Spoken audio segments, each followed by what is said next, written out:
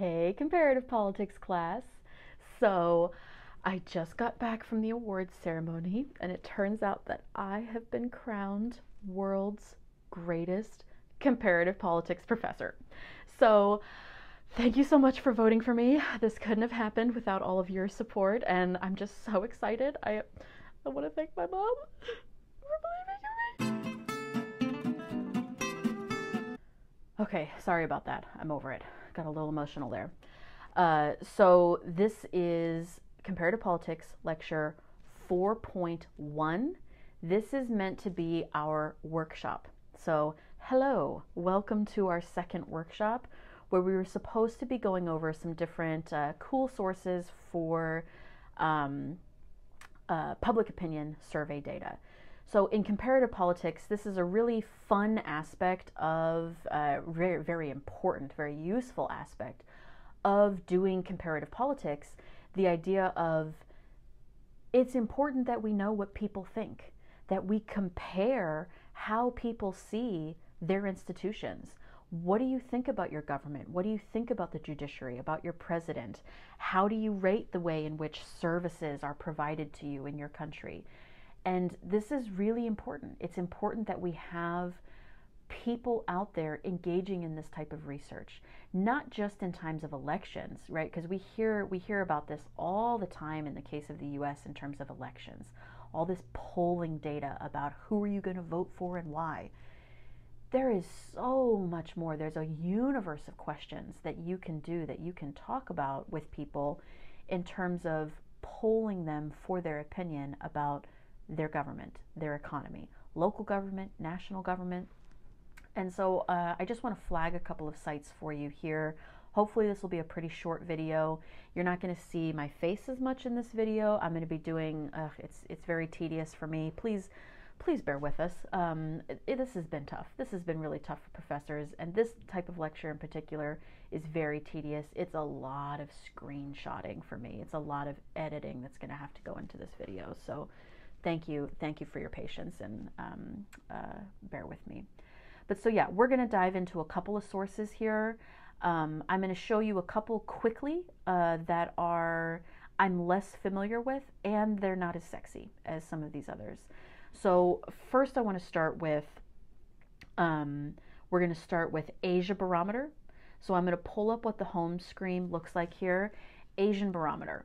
So all of these sites are barometer sites that are public opinion sites. In the case of Asian Barometer, um, you can go here. Um, it's not as user friendly in terms of having a lot of interactive materials that you can use.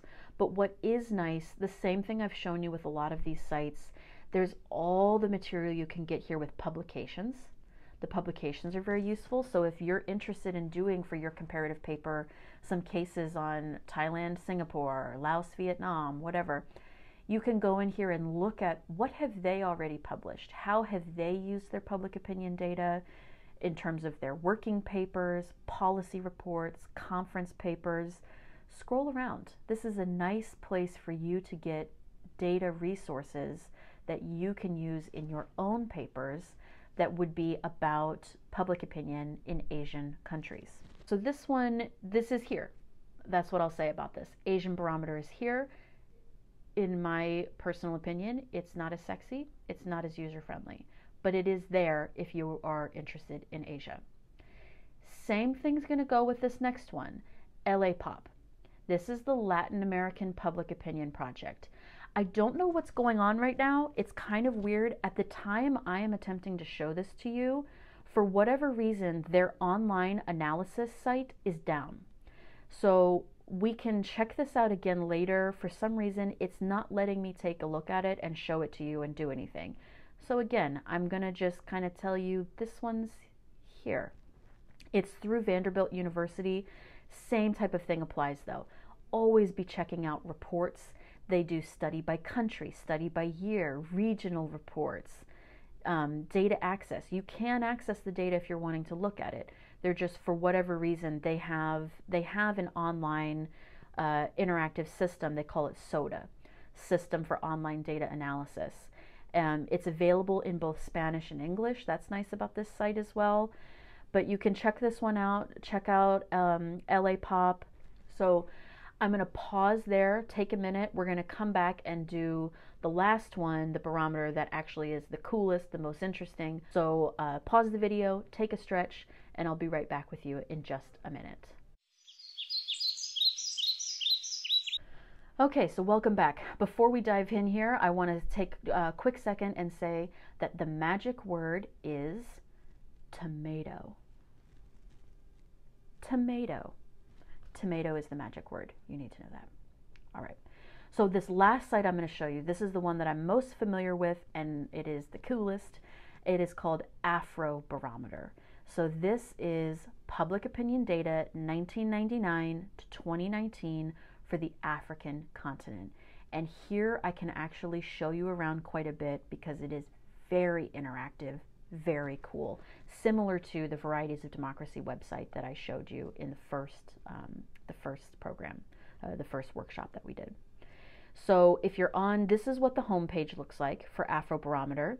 So you can obviously go to About and learn more about it. You can go and look at countries, summaries of results for countries if you want to see what the surveys are, because sometimes the surveys vary slightly within the different countries, you can go and look at when when they're scheduled to go, what the questionnaires are. Same thing here too. You can access the data. This is public free access. You can download all of this data for yourself and analyze it. What I want us to go to is online data analysis, okay? So we're going to go to online data analysis and then we're going to go to analyze online. So this is going to take you to their very interactive online data analysis tool. So what we can do here, this is all totally customizable depending on what you want it to do. So you can change languages. I know some of the people in the class are uh, Spanish and French speakers. You can change the language if you want, and you can do this completely in Spanish. You can do it in French. So step one is you need to select a survey. I believe there is an option as well that you can look across surveys. Um, but in this case, we'll just pick 2016, 2018 here. We're going to select a survey. So then what it will do for step two is if if the country is shaded out, so picking 2016, 2018, you should notice that three are shaded gray Algeria, Burundi, Egypt. They were not in this wave of, inter, of surveys. They were not in the 2016 2018 wave. So, any of these other countries that are in black, you can pick and you can look at. You can pick multiples, you can pick just one. So in this case, let's just pick one since it's the one I'm most familiar with. Let's pick Malawi and let's say see results. And it's going to take you to the result page for Malawi. So here what you can do is you can look. So if you know what you're doing, you can search by question. You might even be able to put in a keyword or something and take a look. But if you look at the left here, it's showing you the survey topic overview. So there are questions about equality and gender, ta- taxation, crime and security, corruption, economy, democracy and politics, institutions and leaders. All right? So you can go through here and click one of these. Let's click institutions and leaders. And so then it's going to pull up all the questions that they asked in this round of the survey to Malawians about their institutions and leaders. So they have it broken down here by the presidency, members of parliament, local government officials, courts and security, and others. So if we just go in here and say, let's pick performance of the president, we're going to click that one.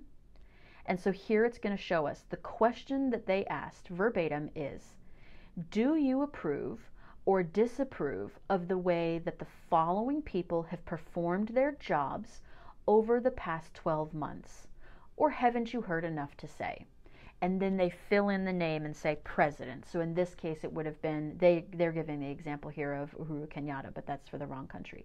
So the president in this case, it would auto populate and say Peter Mutharika. So the question is Do you approve or disapprove of the way Peter Mutharika has performed his job in the past 12 months? So now look at this. 41% of Malawians strongly disapprove of the role that Peter Mutharika has played, his performance as president. Okay. 41%. That is a majority. Look, the next closest, 25%, is disapprove. So you have overwhelming consensus. 66% of Malawians disapprove to some degree with his performance. They do not think he is performing well. What you can do here, again, see how you can go up here and cross by. You can cross by, and we could say, I want to look at this by gender and see if that makes a difference. So here, what it's going to show you now is male female. What do we notice here?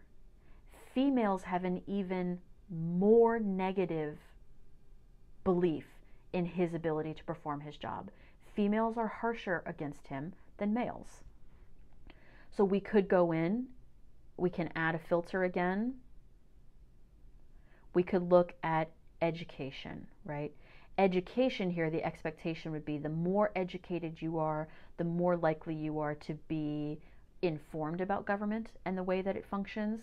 So the more likely you are to hold a negative opinion of your leaders. Strongly approve is purple, strongly disapprove is orange.